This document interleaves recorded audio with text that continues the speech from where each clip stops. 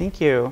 So, you know, as I said, I'm a mental health professional and educator, and I am running for this seat because I want to restore civility and statesmanship, which has been missing for far too long in this seat. We have an extremist senator that, that is not serving our constituents the way that they should be.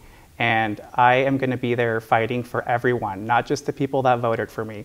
I'll be fighting for everyone. I'll be accessible and open, and I will listen. I'm reasonable. I am common sense. And I humbly ask for your support. We need new energy and a fresh perspective in the state senate. We need someone like me that has lived experiences as a working class person, as someone that's a first time homeowner. We need those lived experiences in the state legislature. We cannot continue electing multimillionaires and career politicians into positions of power.